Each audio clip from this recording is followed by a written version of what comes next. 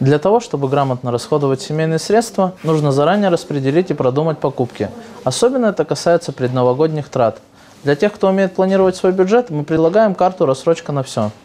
Отличие карты «Рассрочка на все» – выгодные условия. 90 дней без процентов и весьма солидная сумма – до 300 тысяч рублей на покупки в любых магазинах.